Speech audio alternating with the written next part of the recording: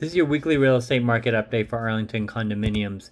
We've had, it looks like, one home come on the market this past week. It was listed for 649,000 and two homes had price changes also. On average, they lowered their price by about 3.25%. We've had three homes go under agreement. They were on the market for about 63 days and their median price was 824,900. Now for sales, we did have, it looks like one home sell this past week. Uh, it was on the market for 54 days.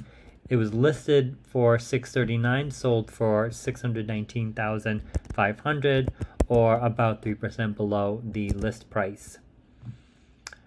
Now we've had also two expired listings. They are on the markets. well, one of them was on the market for 17 days, another one was on the market for 66 days. Their median price when they were taken off the market was 797,000.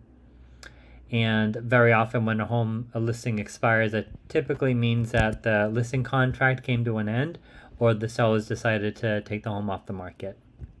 So that's it for today. If you have any questions, please put them in the comment section below and I'll get back to you.